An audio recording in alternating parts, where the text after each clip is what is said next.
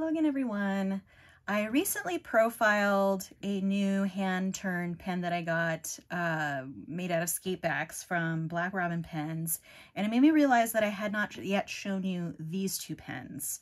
Um, and I kind of mentioned before that I'm I'm I'm trying to reduce my purchases of pens because I have a pretty good collection. I don't really need any more pens, but um, a couple of these were, so, so the skateboard pen was obviously, I had ordered that or gotten on the wait list for that over a year ago. And then this one was kind of in the works when I made the decision not to get too many more pens. And then this one came along and I kind of had to get this one. So they're in their little packages that they came in and I'll show you these one by one. And actually I wonder, yeah, just trying to make sure this one's not leaking because it, it is very flowy. I've actually not held it in a uh, uh, perpendicular, a parallel position like this. So I'm hoping it doesn't leak, but we'll see. So this one is a completely custom pen from Tailored Pen Company, as you can see. The case is really super tight, and I think I'm actually just going to put this and, and all these other pens into my little display case that I have. So this is a honeycomb design, and uh, the so I I picked the I guess it's is it three colors? Might it, I can't I think it was three colors. Oh no, four, including the honeycomb. So the honeycomb is actually a really dark maroon, which you can kind of see here when the light reflects off of it, which I think is really, really pretty. The main color is an indigo color. And then uh, the accent colors are this sort of pinkish violet in here, and then also a little bit of white. So um, my instructions were mostly indigo with just a little bit of this violet color or um, I don't know what you call it, pinky violet, and uh, a little bit of the white. But I really, really like it. It's It's got some sparkle to it. Um, these were all hand mixed colors for me. And actually, the, I decided to choose the colors based on um, Sennelier oil pastels because I have some colors that I really, really like in those, and she was able to match the colors, which I think is pretty cool. Um, and for the honeycomb, I don't, I'm not quite sure how they do that, but, um, but they do. And then on the inside, it's just, I think I have a fine nib in here. And I, I did um, have it accommodate a Bock nib just because I'm kind of down on JoWo uh, nib units these days because they're they've been such a hassle as far as breaking and all of that sort of thing. So I'm pretty sure this is either a fine or a medium. It's not labeled, so I can't remember what it, it's either. It's one or the other.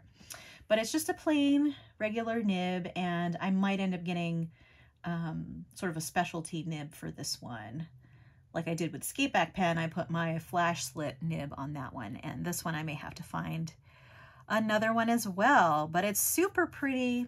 And it's really kind of nice that I was able to pick all the colors, just normal on the inside with a converter. And I have not written with this yet because um, I have been sticking to my, I'm going to just write with, you know, less than 10 pens for a while. So I have been writing with those and then this might make it through the rotation. But of course, you know, with, with these hand turn pens, you really can put any nib you want on them. Um, you know, within reason, like this could have any Bock nib on it now um, that's a size six. So I will probably um, either search for a new one or get one off of another one of my pens in my collection. All right, so I just wanted to show you that one. Put that to the side. And then this one, this one sort of came up and I was like, well, I really want to try this pen because it had had a couple of things going for it, actually. And it came with this lovely case, which I think is lovely.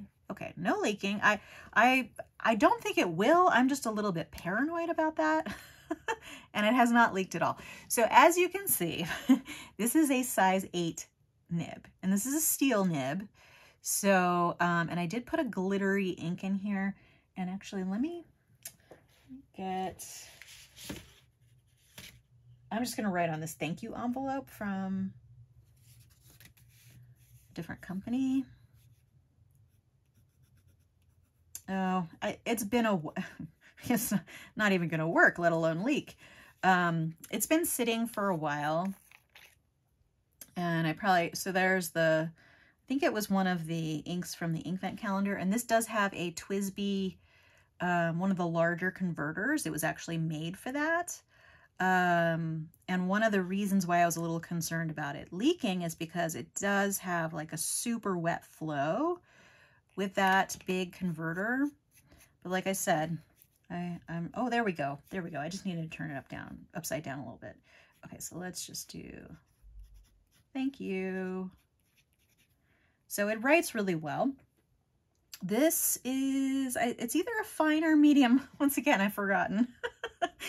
but uh, I actually got, so, so this is one of those nibs. Oh, goodness, what's the brand that's making Magna Carta? Uh, I believe they're located in India. That is that has started to make these steel size eight nibs, and I um, I actually purchased one just standalone, and it's really really tall. So when it's in its housing, um, and I tried to put it into a um, let me actually get this out of the way so you can see that. Oh, and there's that sparkly sparkly ink there. Um, I did actually try to fit it into one of my Schon DSGN pens, which has a converter for a size 8, and it was just too tall. It, uh, I could tell pretty much right away when I put it in that the nib was too long to fit inside the cap. And so basically I tried it. It looks like it, it looked like it was going to go right up against it before it even started to turn. So I just didn't try anymore and I took it out. So, um, so when I saw this pen, that does take that and, you know, has a cap to match, obviously, I thought, well, I'll have to try that because then I can kind of swap out the nib I already have. Oh, yeah, so this is a medium. And the other one that I purchased standalone was a fine. So, so now I can switch these up if I want to. But yeah, so I do wonder if I like if I held this upside down, would it leak? Because you can see it's really wet around the nib now that it's um, flowing. So uh, this is a blank called Alaskan Sunrise. And this was actually one of the blanks that was kind of on my radar for a while. I had I'd almost purchased several different pens in this uh, blank. And um, because this one came with this blank, it's, it seemed perfect for, you know, what I was looking for. And this is by Turnt Pen Company. And this is the only pen I have by them as well. Um, but I thought it was really nice that they included this little wrap here. But again, I might end up putting this pen in my display case, but it is nice to have this little wrap. Um, so it kind of folds in on itself so it won't come undone. Um, but yeah, it's just super nice. And it's nice to have a, a steel size 8 nib. And I do, bringing this one back out again. This one is only a size 6. Um, I do have a pen on order from Jinhao that has a size 8 steel nib that Jinhao has made. So once I get that in, I will profile that on the channel. It was like super duper cheap. It was like $25 or something for the for the um for the size 8 nib pen. I forget forget what it's called. It, ha it has like a number X something like X510, something like that from Jinhao. Um, but it's it's on the slow boat literally from China. So um, so it might be a little while before that comes in. But I will profile it when it does. But that's all I had for you today. Feel free to subscribe to keep track of future videos on my channel. If you enjoyed this video, give it a like. Feel free to uh, subscribe. I think I already said that. if you have any questions is what I meant to say. If you have any questions, feel free to ask below. I'll put a link to these two pen companies uh, down below in the in the description box. And I hope to see you next time. But in the meantime, have a great day. Thanks so much. Bye.